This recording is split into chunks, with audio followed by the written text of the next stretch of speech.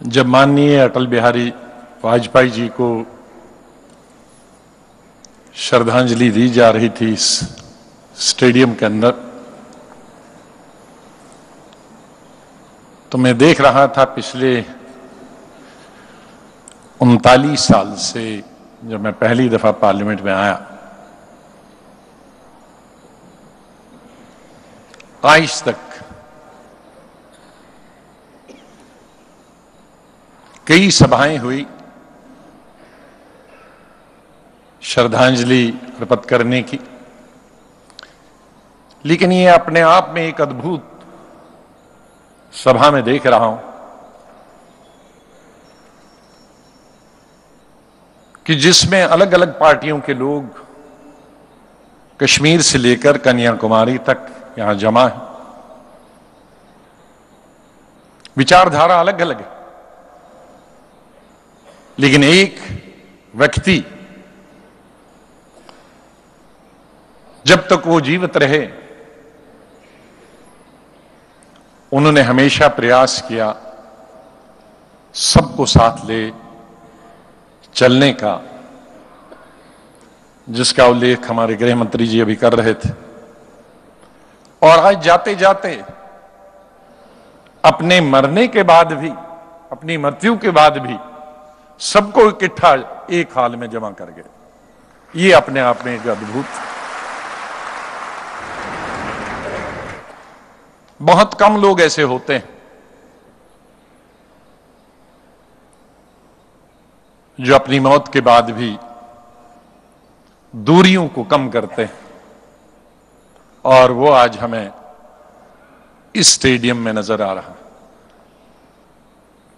बहुत सारे लोगों ने जो अटल जी की पार्टी से संबंध नहीं रखते, उन्होंने कई दूर से देखा होगा। लेकिन मैं हमेशा उल्लेख करता हूँ कि जब मैं स्टूडेंट था और अटल जी और एडवाणी जी हमेशा साल में एक दो सभाएँ तो जम्मू में ज़रूर करते थे। और हमेशा हम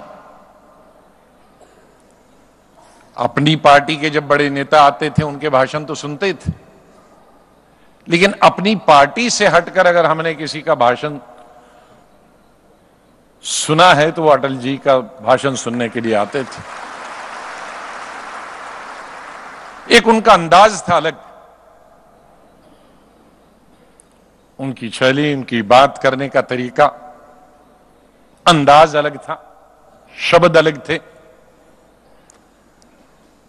शायद इसीलिए मिर्ज़ा गालिब ने कहा था कि इतने शीरी हैं तेरे लब के रकीब, इतने शीरी हैं तेरे लब के रकीब कि गालियाँ खा के बेमजा न हो उसका मतलब है लब होता होंठ, रकीब होता दुश्मन। कि आपके जो होंठ हैं वो इतने मीठे हैं कि उसमें से जो आप गालियाँ भी देते हैं तो बुरा नहीं लगता। इसका नाम था अटल बिहारी वाजपेयी। कहीं हम में से अगर हम अच्छी बात भी करें तो वो गाली लगती।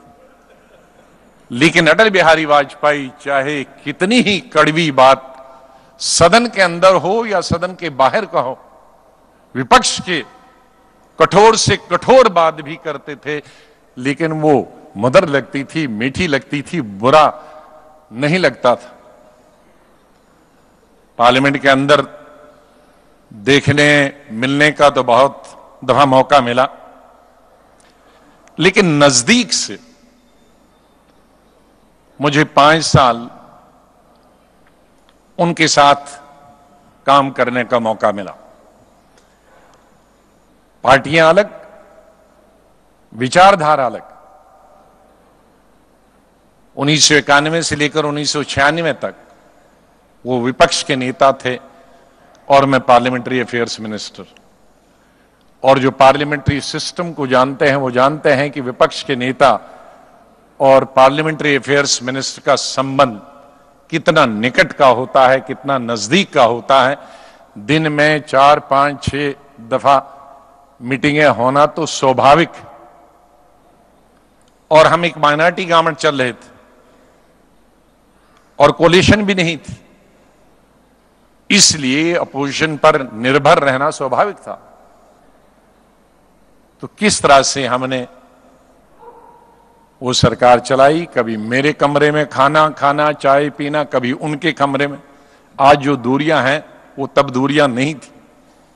आना, जाना, खाना, पीना बहुत आसान दिन का वो एक सिस्टम लगता था।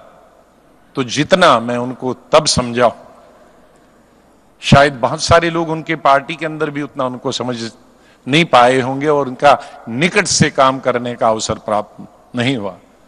आज मैं अपनी तरफ़ से, अपनी पार्टी की तरफ़ से, अपने अध्यक्ष की तरफ़ से उनको श्रद्धांजलि अर्पित करता हूँ। हज़ारों साल नरगिस अपनी बेनूरी पे रोती है, बड़ी मुश्किल से होता है चमन में दीदवर पैदा। इस देश ने बड़े बड़े महापुरुष पैदा किए पंडित जवाहरलाल नेहरू से लेकर, महात्मा गांधी से लेकर, सरदार पटेल से लेकर, सुभाष चंद्र बोस से लेकर, मौलाना आज़ाद से लेकर उन्होंने एक अपना काम किया इंदिरा गांधी से लेकर पोखरन उन्नीस में उन्होंने सबसे पहले किया। लेकिन अगर हाल के आज में देखेंगे तो अटल बिहारी वाजपेयी का नाम भी हमेशा याद रहेगा। उन्होंने देश के लिए और देशवासियों के लिए हमेशा, उनके उत्थान के लिए हमेशा काम किया। बहुत बता